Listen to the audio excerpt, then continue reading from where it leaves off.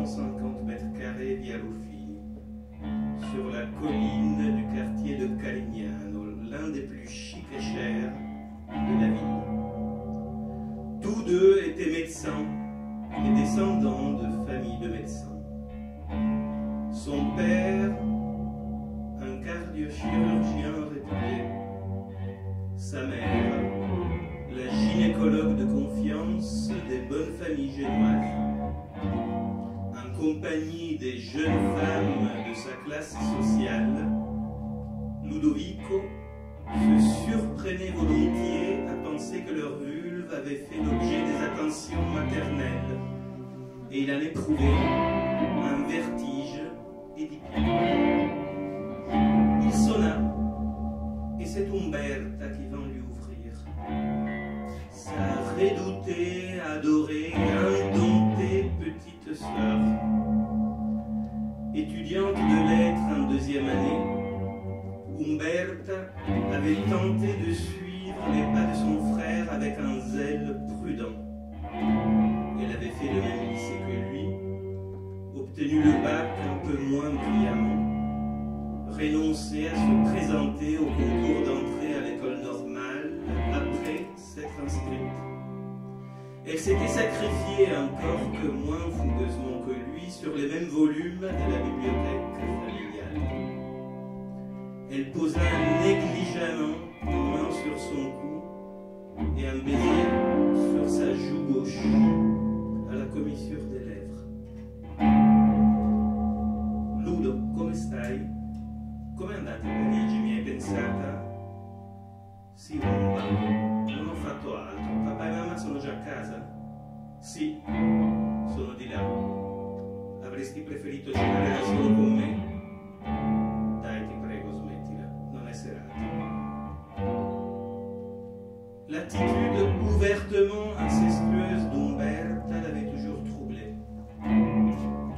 commencé quand elle avait 15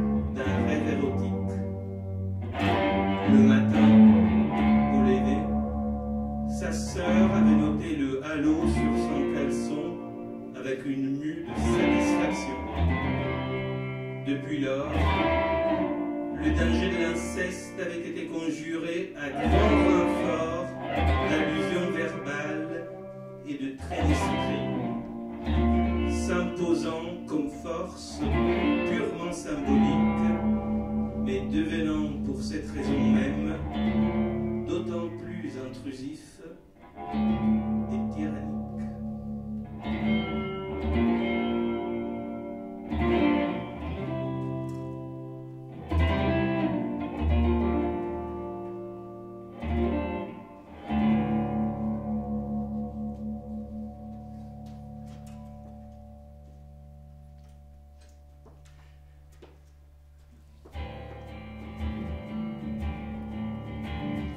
La salle principale du Hungry Duck était bordée jusqu'à la vraisemblance. Au moins 600 femmes et 200 hommes. Ludovico et les jumelles se frayèrent un passage parmi d'innombrables roulages de pelles, d'étreintes et de caresses. Un lassement des chairs engendré par le mouvement ondulatoire de la musique et des hormones. Ils parvinrent à grand-peine au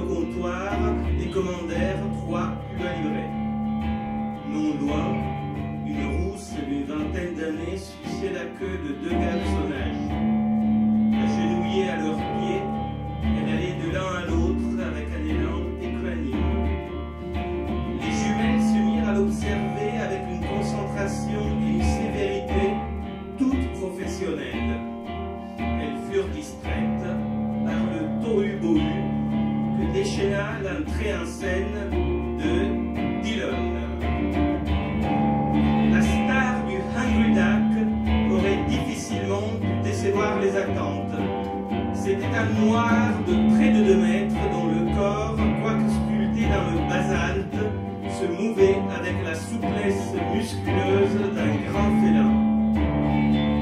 Une blonde coiffée au bol monta son tour sur scène, se laissa dévêtir par Dillon et mima avec lui différentes positions érotiques, en tâchant de s'adapter au syncope animal du Chippendale.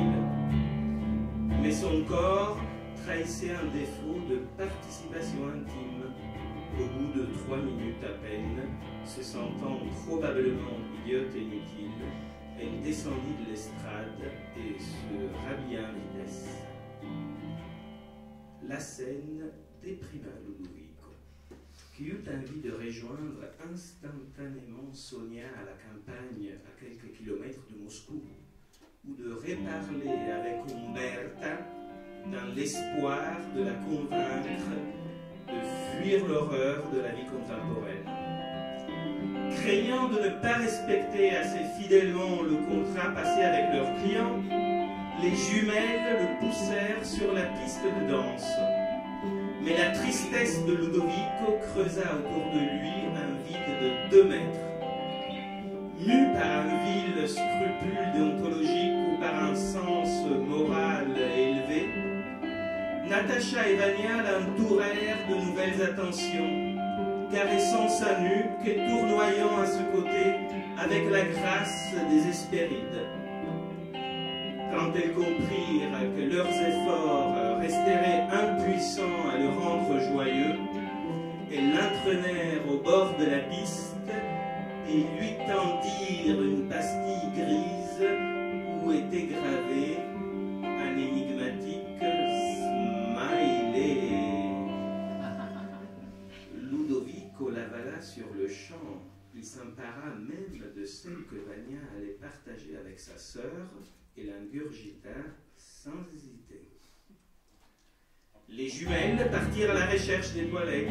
Pendant un temps qu'il estima à trois quarts d'heure, Ludovico les attendit tout en continuant d'observer les infâmes trémoussements de Dillon. Quand Vania et Natacha furent de retour, il commençait à éprouver un amour démesuré pour l'humanité, une empathie inconditionnelle,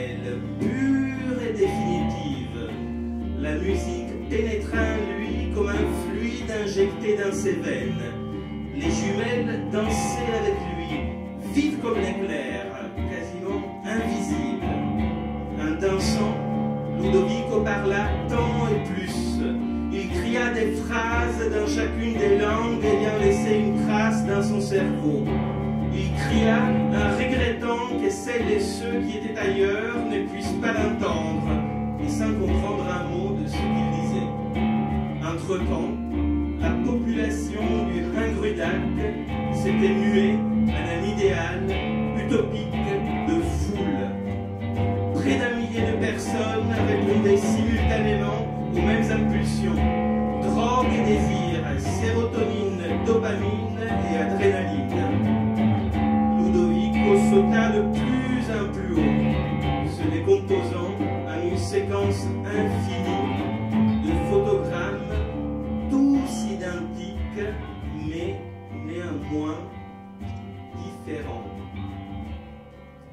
L'ecstasy était la seule réalisation possible du communisme.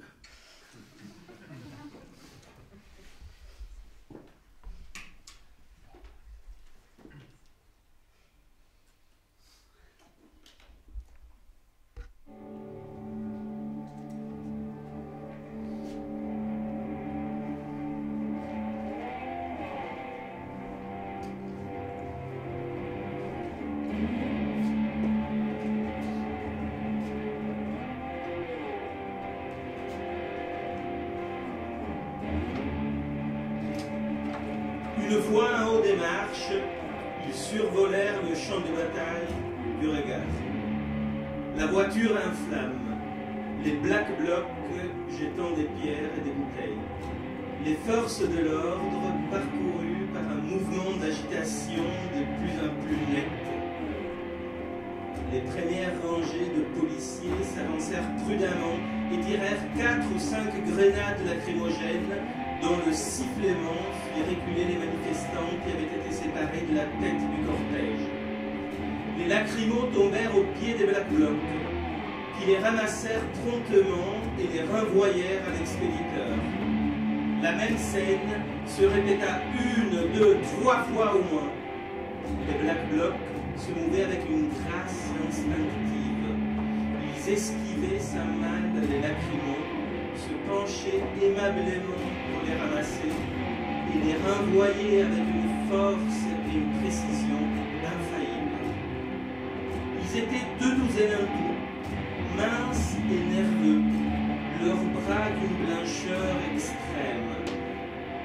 Entre un lancer de grenades et le suivant, ils échangeaient leur position comme dans un ballet. Ils semblaient tirer un plaisir joueur du rythme de leur danse. Guido, Umberta et Ludovico les observaient avec émerveillement. Ragazzi di artisti, guardate come si muovono. Incredibile, ma che età avranno? La tua, forse anche mia. Secondo voi ci sono anche mille ragazze? Forse quella lì, guardate, guardate, quella più a sinistra, mi sembra che sia con la maglietta si intravedono un po' di tette.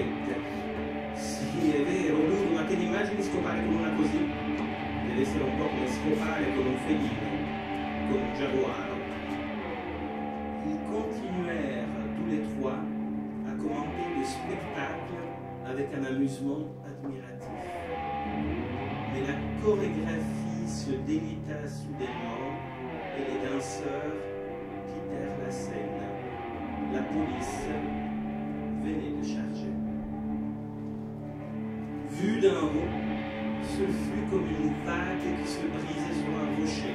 Écrasés à rebours, les premiers rangs du cortège explosèrent sur les côtés, projetant de longs éclats de foule dans la direction opposée à la mer. Les flics commencèrent leur chasse à l'homme.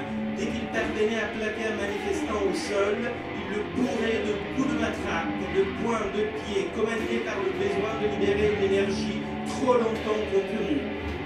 Regardant cette scène de massacre, Ludovico, Guido et Umberta eurent le sentiment d'assister à une incarnation. Aux images d'exactions imprimées dans leur mémoire virtuelle se superposait enfin le spectacle de la violence réelle, la vraie couleur du sang, l'écho des membres brisés et des hurlements de douleur. Quand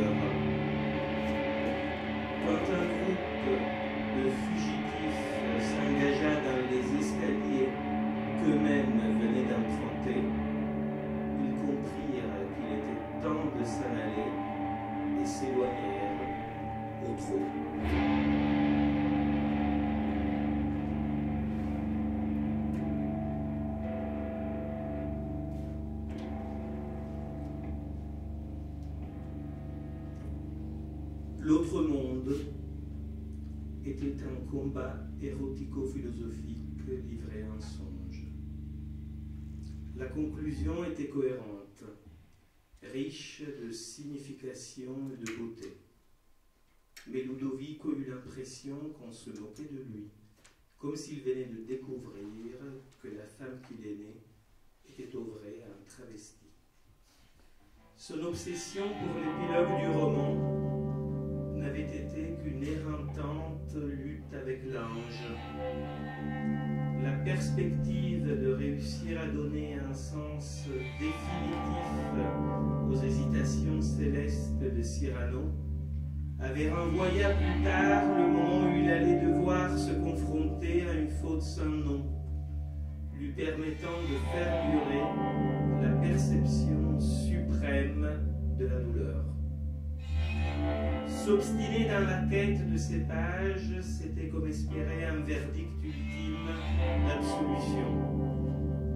La fin de l'autre monde n'était qu'une agonie sans fin. Ludovic continuerait à brûler ses poumons, son foie et ses neurones, ballottés entre amours insensés et pulsions ténaces. Il supprima le mail des souteneurs russes et toutes les pièces jointes. Par goût de l'amalgame, il supprima de même le mail de Sonia, se retrouvant tout seul avec son hétérophobie. La lassitude de soi aurait pu abattre une montagne. Il alla s'allonger dans sa chambre, la tête enfoncée dans l'oreiller, son visage barbouillé de la lumière de midi. Il se surprit à éprouver un désir effréné de neutre. Non point la privation totale des affects, bien entendu, il n'en serait jamais capable. Le neutre dont il avait le désir était un état de tension indifférenciée.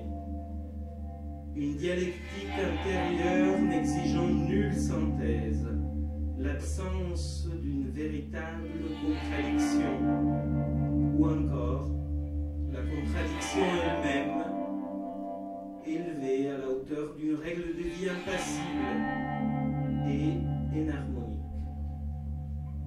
Après quoi, il s'efforça de ne plus penser à rien.